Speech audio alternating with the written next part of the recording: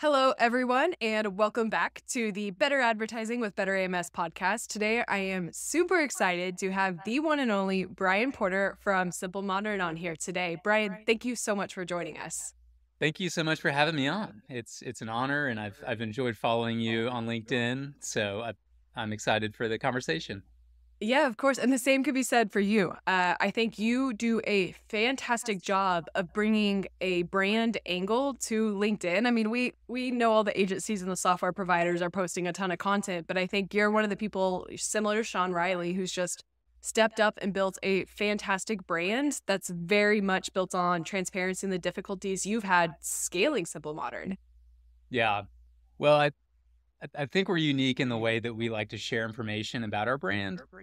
We we don't we don't really get nervous about people like figuring out our secrets and competing with us because there there's more of a um, angle to to building a brand where you you see what your brand needs and you react to that. And so I don't think there's like one size fits all advice that's going to give someone a leg up but I'm I'm hopeful that what I share is helpful in giving other brand owners and agencies ideas on how to to better operate their business. Most definitely and you know, looking externally at everything you've built, in my opinion, one of the things that you've done best is honed in on that brand angle. I mean, you're taking products that, you know, people always stress about those categories. You know, there's a, a million different Chinese sellers hopping in or, you know, lowering prices, but you've done such a great job of turning your brand into something that people love. Um, what does that look like on your end? How do you go into your R and D and say, "Hey, this is going to be something that's going to mean something to someone"? That is a really good question, and it's it's very uh, there's a very long answer to it. I'll try and make it shorter. Um, so we started in the Amazon Marketplace about eight years ago, and whenever we started, certainly like we didn't have a brand. And that's kind of the beauty of Amazon is you have the reviews that can kind of get you past not having a brand. brand.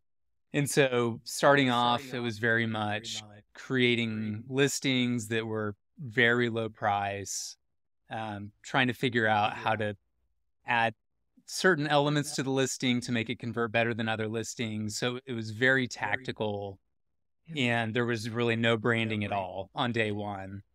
Um, over time, what we've realized is that if you want to be in business for a long time, you really need to build a brand because that's the only thing that can't be copied on Amazon um, unless you have really great IP. But um, so yeah, over time we we realized that we were growing a small customer base kind of every year. We were growing this snowball of of people who weren't looking for water bottles anymore. They were looking for simple modern.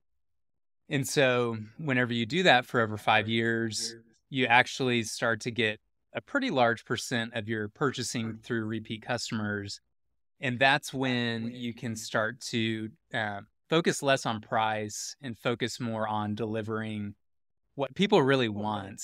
And um, that I, I think the combination of having customers who are looking for you specifically, um, a lot of listings with a lot of reviews give your brand right. even for someone who hasn't heard of it a lot of um, trust um, and you know you, you, you can't fabricate having like 10 listings with thousands of reviews yeah. that are you know four and a half five star so really like over time we've we've been able to kind of morph what was not a brand at all and not a brand strategy into one and nowadays, we're doing product launches just for our website. We're trying to create new products that are unique and different, um, not just replicating what's out there. So, um, th- those are a lot of the factors that go into the brand. I, I think high level, something that's been important for us is the idea that like no one's gonna care about our brand more than us. So it starts with us valuing our own brand and saying no to places like Walmart whenever they want to put our product on shelves at this really low price. Like we don't need that. Yep. Um, we want to be at our MSRP and you can take it or leave it Walmart. And a lot of times they say no and they end up coming back a few months later and saying, ah, okay. we'll take it. So there's there's things like that where you kind of got to put your foot in the ground at some point and say like my brand means something, it's worth something, and customers are willing to pay for it. If, if you never do that, then you're never really gonna have like the brand that I think you can hang your hat on and, and yeah. that can be the, the advantage that you want it to be. There, there's a little bit of a philosophical answer there. And I think we've done a lot on our end as well as if you're constantly just chasing the revenue aspect, then you do. You get caught up in all the little details like what's my margin on this specific product for this year or organic rank or chasing those kind of short term KPIs. But something we've really started speaking to our brands about is what are your long term goals on Amazon? Like, what are you trying to achieve as a brand overall? And then try to back into some of those KPIs because we always see, especially people who started native on Amazon, the platform's changed so much in the last seven years. You know, back then, eh, competition was so much lower. You could launch a brand and have a, you know, 30 cent CPC and make things work. But nowadays, you really have to back into those angles and know what you're trying to accomplish over the next one, two, three years and keep that vision in mind. I think that's the biggest thing. When you have that vision, it's a lot easier to say no to all the different shiny objects that are being released and all of those things. Yeah, no doubts. And and really having that long term view is a huge advantage that we've seen. Um, whenever we identify a product that we think that we can make and bring to market and capture, um, you know, top level market share, it, it doesn't matter what our profitability is year one. Like what matters is creating an annuity over the next five to ten years. So you can do something like, um, you know, run heavy, ad, whatever you need in, in ads to to get the product seen. Um, you can run deals like any any lever that you can think of like in my opinion you should do to try and get your product to the top of rankings. Um, and if if you're too focused on profitability the risk is that you never achieve the organic ranking that you yep. you actually could achieve and um, you're, you're just limiting your upside. So there, there, in terms of risk reward there's so much more reward in being aggressive with product launches and having that long-term mindset with everything that you all have built in terms of kind of that loyal audience and what you're doing off platform and in retail and Amazon, do you have a favorite? What's your what's your favorite project to deep dive in within the company when you're hands on keyboard? Uh, that's a great question. We have a lot of really fun projects.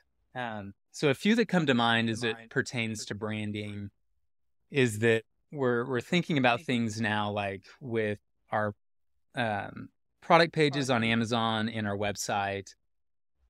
Whenever we launched, it was all about how do we convince the customer to buy our product. So you're showing features, trying to like communicate your value prop, all that stuff. And it's really evolved for us into like quality of content more than explaining and the convincing. So I'm, I'm a believer at this point that like our, our imagery, whether it's static images, lifestyle image, studio images, video, um, 3D content, the, the quality of that kind of imputes quality onto our product whenever our customers get it because it forms that expectation in their mind. And in some ways, it, it kind of convinces them before they get our product that our product is really high quality. Yeah. The, the same thing goes with packaging. Um, something that's kind of new to us in, in the year 2023 versus 2015 is influencer videos and unboxing videos. If someone's pulling a, a, really awesome product out of this just ugly box, it, it takes away from that experience. Even though it's a small thing and they're going to throw it away, like it, it actually matters. Yeah. Um, and, and we used to ship our products from our 3PL for, for our website just with a label on our product box. We wouldn't put an additional box around it. And the, the product would be fine, but the box would be really dirty, kind of banged up. And, you know, in the TikTok video, no one's wanting to like show that off. Slide that to the side. exactly. And it's like whenever you open an iPhone, like you you don't even want to throw yes. away the oh, iPhone box because it's yes, it's, so, it's so nice. Yep. So really creating that experience is a big part um, both on your product pages and your packaging. And um, so, so that's something that we're really focused on. And I would say the the other thing that I'm really passionate about now is I don't want to sell anything that I wouldn't want like my mom to buy Yeah. or, you know, my wife or my best friend. yep. Like I want I want to be proud of the products that we sell. And we've sold things in the past that honestly like it wouldn't pass that test. So we spend a lot more time now on product dev and you know, whether it sells a ton or not, I think if we're if we're proud of what we're making and creating, like there's value there. Um even for like us internally, knowing that we're creating things that we think are amazing and that people would like. Uh, Yeah. we can live with the results if we're doing that. With all of these different aspects of your business, you know, from packaging and user experience and social and content, how have you built a team and how has that team changed over time? I mean, there's so many different things that you could focus on that can make a brand successful. How have you balanced when to make that investment proactively into, hey, let's go ahead and change our our packaging, knowing margins are maybe lower, but now we are more TikTokable. How does how does that balance work with scaling a company? It- It's been a slow process throughout the years. We have to get ourselves out of the mindset that we were in when we launched. We we tend to get stuck in certain ways. Um, an example right now that I think is is helpful is that early on we were really aggressive and not disciplined on inventory buying, Mm-hmm. and then we hired a bunch of uh, people who are great at finance and they really got our inventory health into into fantastic shape. So we went from one ditch to the other, and I- I, I think the perfect spot to be in with your inventory planning is somewhere in the middle, where you're aggressive but also smart with how you're you're buying inventory. And so we we kind of shifted all the way over into this more conservative method, where it's like, well, I don't know if I want to buy this one product that we think customers would like because it's not additive to our total sales. It's going to take from this other product that we're selling. Yep. And that that's really not helpful to our, our overall business because essentially you're saying our customers are happy enough with this one product that we sell. We're not going to give them exactly what they want. So that's an area where we've had to be open minded and be willing to to to change how we approach things with where we are in the business. So allowing kind of those two tensions to pull and, and meeting Yeah. somewhere in the in the middle has been helpful. Um and I, I think another good example here is with product dev. In the beginning, we took stuff off the shelf in China and put our logo on it, moved really fast. And there, there, there- it, it did well. Like it did well enough for us to get traction but there was a point where we realized like if we're all if all we're doing is taking product off shelf and it's not unique like that's not a brand. You're not creating anything that customers are looking for specifically. So there was kind of a flag in the ground moment where we said like we're only going to sell things from now on that we have developed in house and we're going to actively phase out of everything that looks like just a straight dupe or knockoff of something else, um, which was hard at the time because it, it it takes longer to create something yourself than look through a catalog and say I want that. that one. but yeah, it, it's uh, some something that is creating um, uniqueness aesthetically and practically that, that customers like and they want to search for. It's interesting uh, hearing you talk kind of about the entrepreneurial side of that journey of like, yeah, we got started on Amazon and we figured out Amazon and we picked these products. And then you kind of start, as you get more experience and more reps, you start honing in on like what part's most enjoyable, what part are we best at. And then you kind of just start building out the team below that supports everything that's not enjoyable or that what you're not best at. But when you do focus on that vision and you start figuring out what that vision is as you do more and more, I think it all becomes so much easier. I mean, we're obviously not in the product based business, but I've been in Amazon for seven years now. And when I started, I got thrown in and I was like, yeah, this is interesting. I'm going to keep doing it. But if you would have told me, you know, seven years from that first PPC campaign I launched that I would be, you know, leading a lot of the content and education and have a full team and be the CEO, I would have never believed you.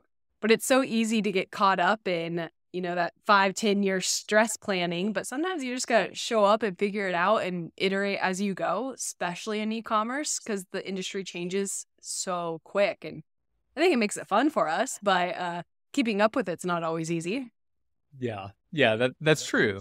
And I, I think what happens over time is that you either create competencies or um, for us, we grow email lists or social followings or just people who want to buy again. And all of a sudden you have leverage that you never had yeah. before. And it allows yes. you to do new things that you, you couldn't do in the beginning. So it, it definitely does change over time. That's a that's a fantastic point that I think a lot of people uh, forget about is just the timing it takes to get there. Like you have to do the hard things up front. Like I always laugh when you read uh, any entrepreneurial book or take any entrepreneur tips. It says, you know, you have to be good at saying no. 100% I feel the same way with my time now. But my first two years, I had to say yes to everything. I said yes to every podcast, webinar, speaking engagement, every client that came our way because we needed that leverage in order for me to be able to say no. So, also aligning kind of that strategic advice you get with where you're at in the business is something that's super important. And same thing on the Amazon side in the beginning, I think you do have to be so much more conscious of margin because it's typically, you know, solopreneur reinvesting in all of their inventory. But in order to go from, you know, that seven figure brand to that eight figure brand, there's a major mindset change that has to happen. You have to start thinking so much more long term and investing in the vision of your company. And that's that's a big thing we typically see sellers struggle with that have been on the platform for a while. They don't make that switch to brand like you did.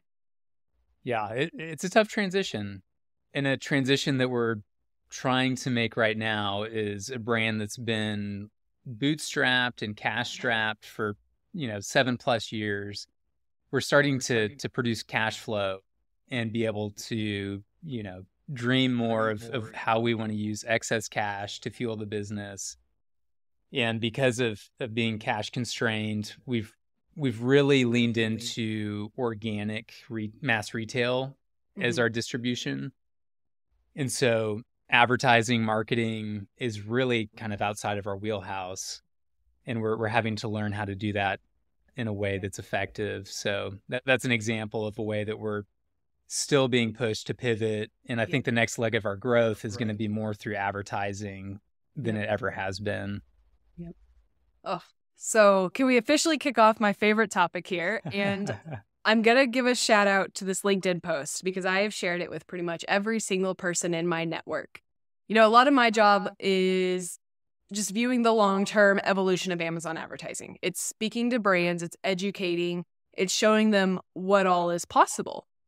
And a lot of people, especially sellers who have been on the platform for a while, have that love hate relationship with Amazon PPC. Well, you posted the brand perspective of what happens when you turned off your ads, and it was very transparent. I'm pretty sure something along the lines of we didn't see much of a drop short term. We did start seeing a slight effect to our organic ranking, you know, month over month, but it it took what 45 to 60 days before you even started to see that. And it was just a fantastic post. And I think one, you guys do an amazing job of driving traffic externally, so you're maybe less reliant on just Amazon PPC because you've built that brand. But I want to hear more about that journey and that post, which made me the number one advocate of everything you all are doing. And I'll drop the link in the show notes here. But I want to hear about your experience with just Amazon advertising and Meta and all of the different variables and kind of where you're at with that.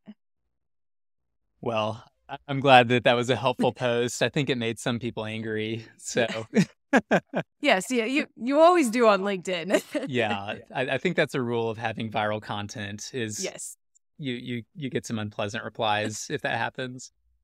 Um, yeah. So I'm, I'm glad that you brought that up. I, I think it was it was either the summer of of 20 or 21 that we did this. I should know the answer to that.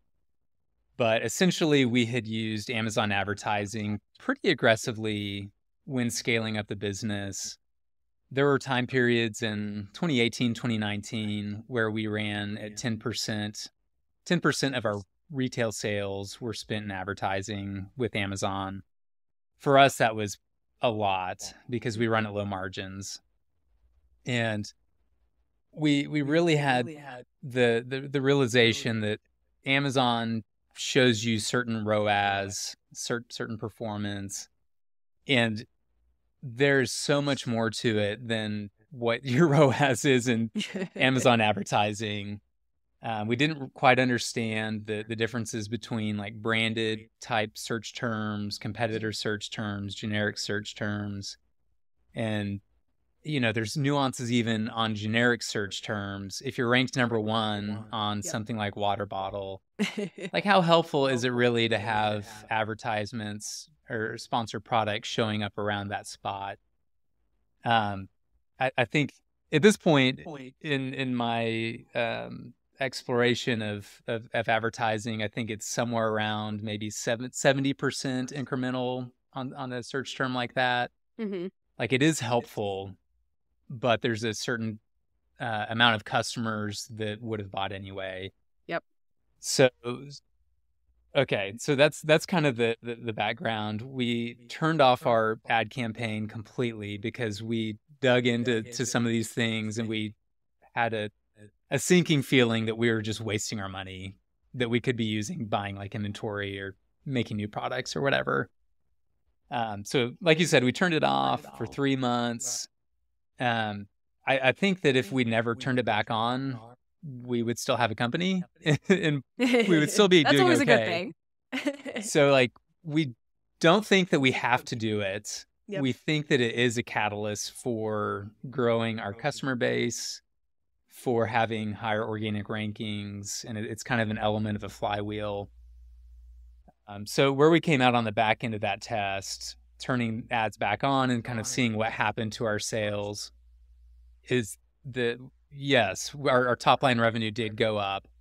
It didn't go up as much as Amazon ads said that it should have. yep. Yep. So there, yeah, there's somewhere in the middle, and, and digging in, um, I I think the high level for us is that competitor advertising is the best advertising we can do because organically we're never going to rank in Yep. the top 10 of any competitor unless it's it's just a weak competitor. Um, so I that's where I want to spend my money first and foremost. Generic would be second, and there's a big power dynamic on generic keywords where you know your top 10 generic keywords are driving just a, you know 80% of your revenue. So really focusing in on on those to me is, is where the real value is. There is value in the long mm-hmm. tail but there's also a cost of like your time and complexity. So we like to focus in, in the top keywords. And then with branded we're we're I, I've been running tests this year where I think that about 20% of our branded spend is actually incremental. Yep. And Yep. and really like the incremental sales on branded, I think for us come mostly through merchandising. Yep. So showing customers products that they probably don't want is Yep. really the strategy. And we're happy for competitors to advertise on our keywords because we see that there's a big discrepancy between impression share on our branded keywords and click share. Yep. Like we get 70% of the impression share, but like 95% of the click share. So there, there's a lot of kind of placements there that customers are just not engaging with. Yeah. I would say there's a major education gap, I think, especially brand side to advertising side, because of a lot of the callouts you had are fantastic callouts, and I'm still having to break up a lot of those myths of, hey, this is what's possible here, here, and here. And I think it's because the industry changes as quick as it does, and most, you know, founders probably aren't as close to Amazon or as passionate about Amazon. But we see the branded versus non-branded cannibalism, probably one of the biggest mistakes we see within accounts, as well as a lack of awareness of how granular you can get with Amazon advertising. So you mentioned segmenting out those keywords and really trying to think, you know, from the customer perspective, if a customer is typing in this, what does my share of shelf look like? And I think the next big step we're expecting to see in the market, and there's not a lot of tools or operations to make it easy of how do you have that unique assortment? If someone types in water bottle and your mm-hmm. ASIN is ranked number one, number two, number three to four, how do you put four brand new products in the fir- first four sponsored product ads? So now you're winning eight different placements on the shelf, right?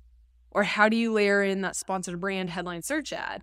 that is now advertising three products for the cost of one with a lifestyle image and with copy that maybe again is different from that organic assortment.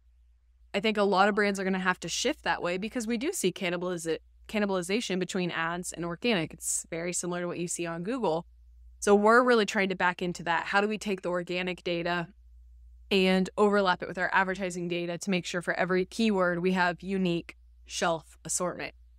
And there's there's no great solution in this space. It's got to be really scrappy just due to what Amazon gives you from an API perspective. But understanding that funnel is so important. And I think Amazon's giving us more opportunity to also move up funnel.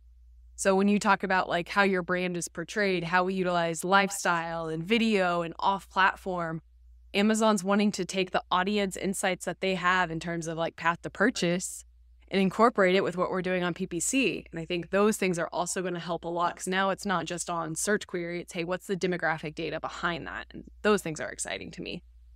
Yeah. Yeah, that it's amazing looking at Amazon ads today compared to yeah. what it was like 7 years ago. Yes. There's a lot more data and insights. And I think the brand analytics tools that they've given has been probably the most helpful change that they've made in, in yeah. the last seven years that we've been selling on Amazon. But I, I do think to your point, like there there is a ton of nuance with advertising. We sell licensed products, and licensed product tends to have just tons of keywords.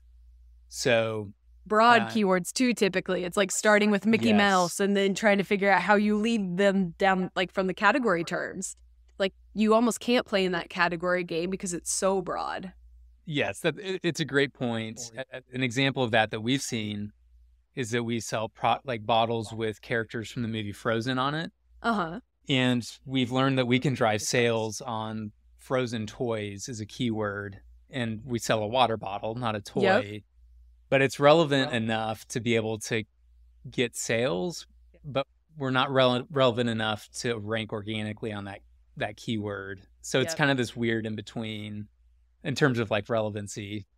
Yeah, and you don't want to spend a ton of money, because like you you mentioned this earlier about the flywheel of the beauty of Amazon advertising is it does influence organic rank. So once you have a better understanding of what that relationship looks like, it helps you scale. So you take a term like Olaf toys and you don't necessarily want to invest in trying to rank in it. So you got to find that incremental pivotal point where, hey, this is profitable and driving sales, but we shouldn't go beyond that because we're not going to rank well organically for that term. Yeah, absolutely and we, we sell fan shop as well and uh-huh. so you know there's, there's some more examples there like dallas cowboys is the biggest keyword for that team. Yep well that's pretty generic and you're competing against like five dollar uh, cpcs top of search. Yeah very expensive ad spots. You're competing against jerseys and like grill tools and snow globes and like yep all sorts of random stuff. Yeah. So it, it's a pretty interesting space with ads, and I I, th- I think that licensing is an area where ads are like uniquely helpful. Yeah. Um, since you are competing cross category with other brands.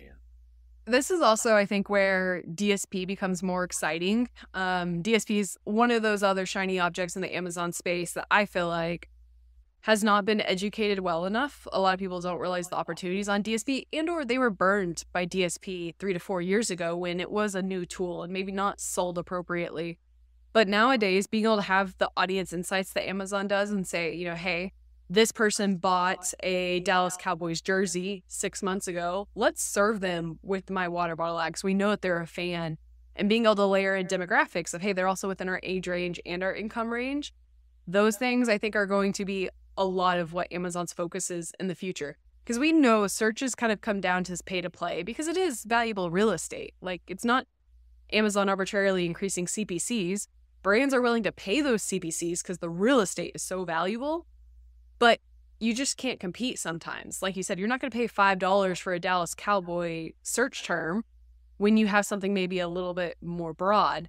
So if we can start layering in the DSP aspects and everything we're doing on PPC and then using AMC on top of it, throwing out all the acronyms right now, I think I think the future will get a lot more exciting because now we're having insane power to make sure we're hyper hyper targeting. Yeah, and I'll be honest, we I think are one of the people that got burned by display ads back in the day. Yep.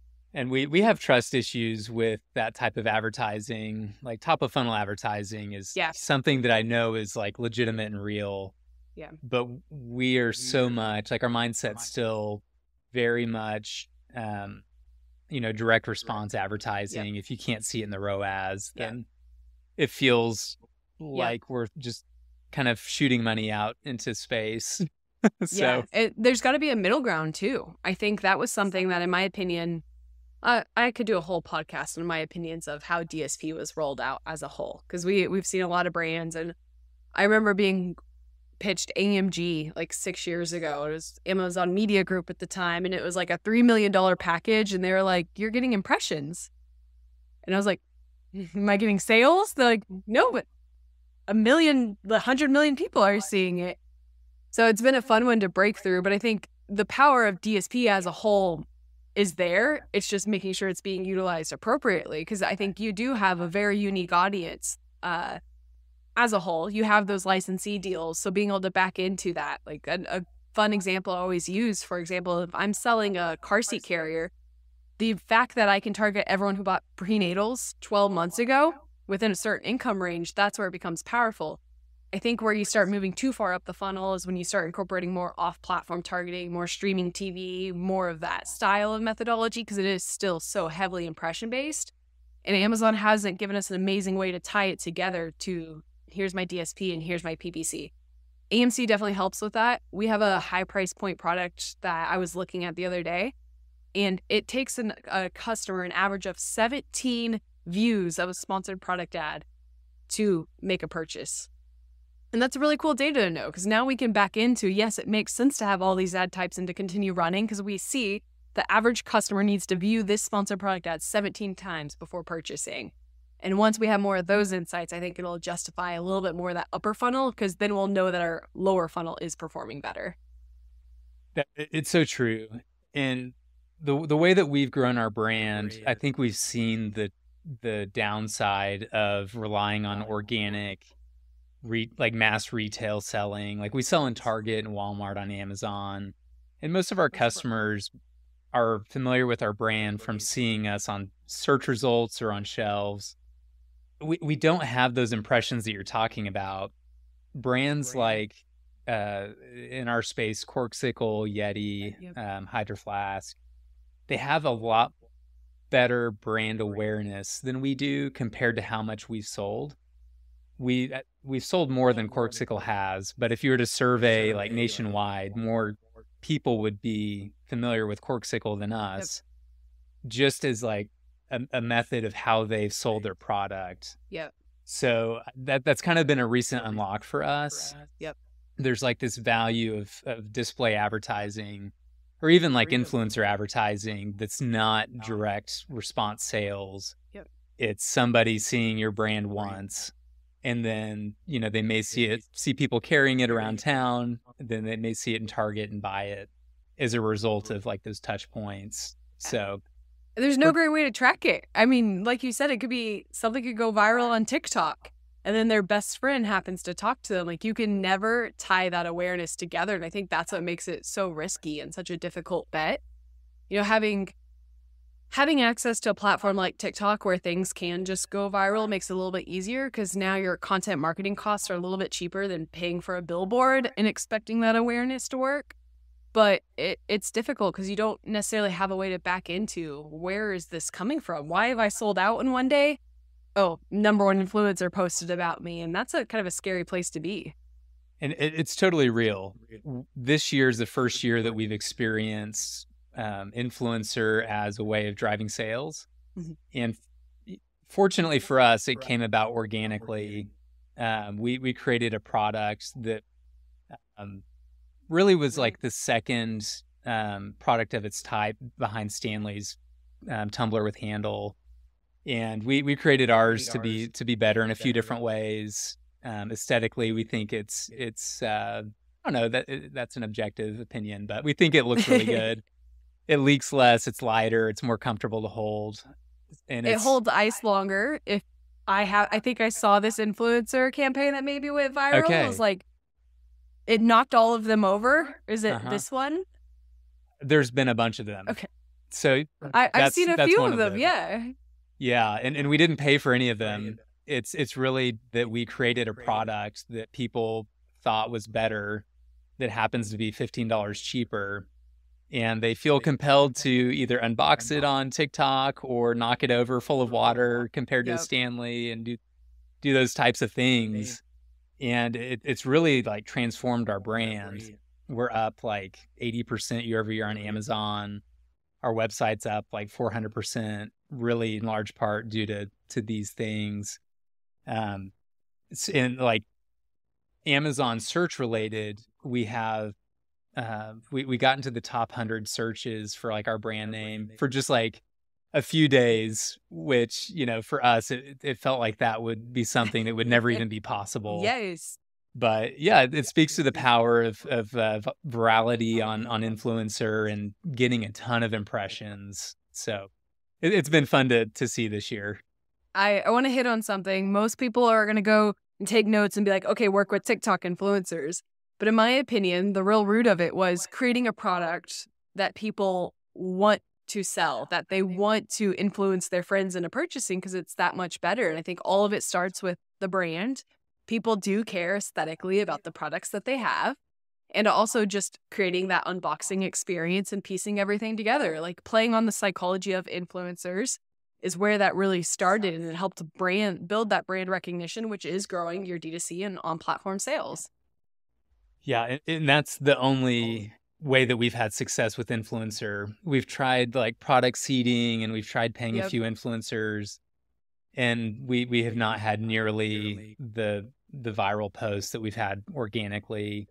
So so one thing I will tell you that that's really exciting and, and fun that we're doing at this point. Um, we we want to break into channels where you have to have higher margins and higher retails. Well, we built our brand on Amazon, so we don't have that with our existing catalog. Um, but we're creating products that is going to be priced more in the like Yeti price point range. And the product is going to be like as decked out as possible with like as many features as we can have. Uh, this probably isn't helpful for people listening on a podcast, but I'm, I'm holding one of the products right now. It's a, a coffee tumbler. It's got ceramic coating on the inside that can either be color matched or color accented. We've got like silicone on the bottom of it. We created a, a 360 lid just for this product line um, that we can do really fun things with or, ornamentation wise. yep And so we're we're pricing this product at $35. Yep. We sell the same thing without the ceramic coating on the inside, um, without the 360 lid, without the silicone on bottom for around half the price on Amazon. So we're we're trying to to jump into like the D2C high end retail world while still being like mass retail Yep. um, is kind of like in our DNA. And in doing that, like we could pay an influencer like 12 bucks a unit to sell one of these. Um, we, we cannot do that with any of our other products. And I, I think that that's hopefully going to be an unlock for us to incentivize influencers to, to really show off our products. And it also has like the features that they can Yes. show off to justify it to, to, yeah, to get their cut, their audience engaged and excited about it. So that's that's kind of the the big thing that we're we're trying to make the jump to brand wise, which is when is that exciting. launch slated? What what month do we need to look for here? So we we launched that product a few weeks ago. hmm It's not available on Amazon, just our website, and we we've been selling hundreds of them a day, which has been a lot uh, better than my expectations. yeah Part of that is that we can run it at two ROAS on Mhm. marketing campaigns with it, which is very unprofitable with any anything else we sell. yep Um, we're, we're also going to try and get these products, like I mentioned, in high end retailers, places like Whole Foods or your local wherever that sells Yep. Corksicle and Yeti and that type stuff. So I, I think we're going to run out of these in the next, uh, I don't know, two months, and then we're going to Yep. bring in another set that we're going to go heavy with influencer on. Unfortunately, we can't do that right now because we just don't have enough inventory. which which it's makes a, me it's sad. a fine line. I know. I, I get very impatient and want to do it now. Well, that's amazing. Congratulations on the launch. I would love to bring you on for a 2.0 after we have, you know, six to 12 months of data and insights over how this went and what the different differences in price point and advertising strategies behind it looks like. I think that would be a fantastic follow up for the audience. For sure. I, I honestly am curious to see how it goes as well. So I don't think many brands are able to sell in mass retail and high end retail or, you know, Amazon and D2C like really well. The, I, and if you do, I think it's brands that started off in high end retail and moved into mass retail, not vice versa. Yep. So like brands like Yeti started off with high end retail and they also, you know, have some placements in like Ace Hardwares or um, they saw on Amazon. Yep. So it's going to be a fun experiment. Well, we we've been on for 40 minutes now and it's been absolutely fantastic. I feel like we could probably talk for another few hours, but for the sake of our audience here, I would like to ask you one more question because this is something that I definitely struggle with and I'm curious to hear your thoughts. You're obviously very in tune with the business. You keep up with the e-commerce space, you post content, education. You're also an entrepreneur, you're building a team, you're, you know, figuring out what your future org chart is, all these things. How do you balance both? How do you stay an industry expert but also, you know, lead your company and focus on entrepreneurial growth? Do you have any tips or resources for that? That's a really excellent question. So I, I've felt I, I felt that very deeply. There's a concept called player, player, coach, coach, and then like GM is is four different tiers of being a worker. And we we started the brand. All all three of the founders were players. We were doing everything, and then over time we hired people to to do things like um, you know create uh, shipments from China and, and things like that, respond to compliance, all sorts of things. And and now my role specifically, like I, I have four direct reports and, and and they have reports as well. So I need to be a good manager and help my reports to to know what to do. And to do that, I've I, I've realized I have to be in Amazon ads. I have to, you know, be aware of what's what the important things are that are driving the business. Um, I, I think you know, thinking about it like a doctor, kind of checking the vitals of, on a patient, is kind of a, a good analogy for it. So that that's the role that I'm in right now. I know that uh, my my co-founder Mike, who's the CEO, is very much like in the coach only world, and he's Yeah. kind of you know not, not struggled, but he's he's transitioned into figuring out like how do I kind of be a spokesperson and and, and be a good manager without being in, really in any tactics. Um, so it's, it's it's hard for him to find that balance of being aware of everything he needs to, but also casting vision. Eh, I, I, I think there are probably things that you could relate with. I, I'm curious. It, it sounds like you've probably had similar things in your career. How, how have you experienced it? yeah, it, it's difficult. I mean, I I'm super passionate about everything that we're doing and it just there's so much to keep up with. I mean, we we solely do media, right? We're not even focused on as much on like the operations, the supply chain side, anything like that. And I mean, there's an update weekly that we have to keep up with. So balancing both has been difficult. I think for us, it's truly been like you mentioned, building the right team below us. Anything I don't like doing or that doesn't fuel me, it's like, okay, let's find the person who does. Let's find the person that's passionate about that topic. Let's find the person who is the, you know, strengths to all my weaknesses.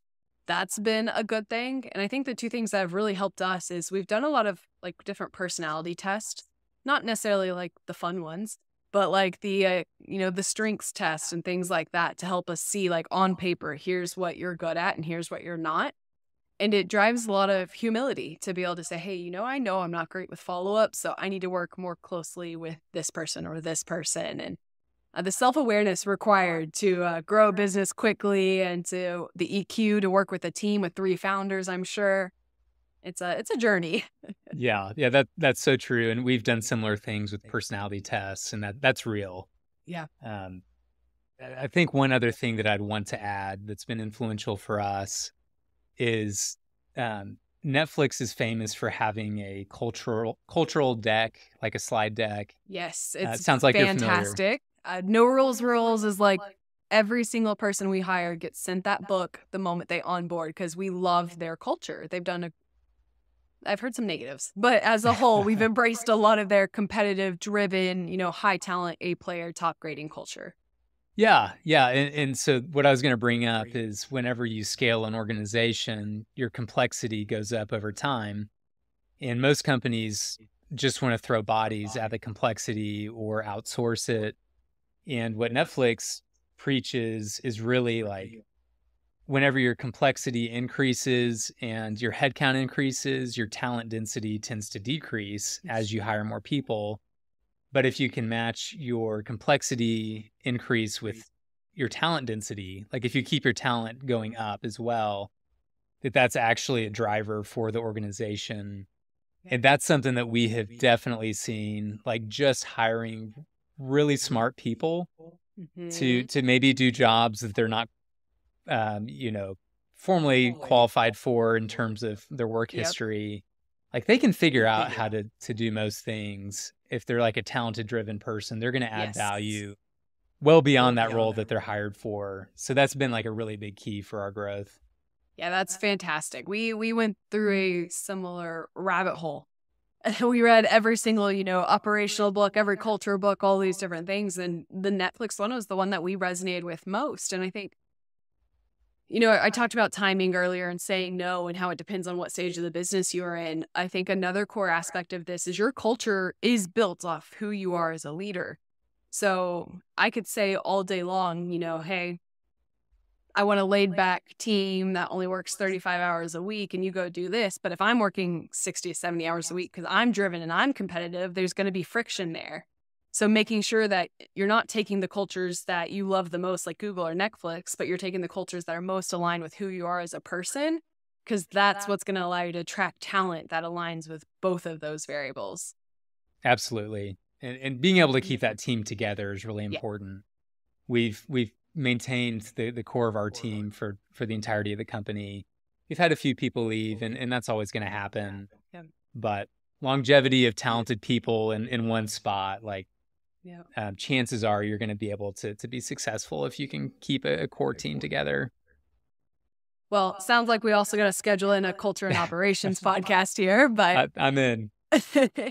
I wanted to again give a huge shout out. Definitely check Bryan out on LinkedIn. We'll make sure that's added. He posts amazing content, uh, regardless of how frequently you're on there. When you do post, it's good. So just wanted to thank you so much for your time, your expertise, and just say congratulations for building such an amazing brand.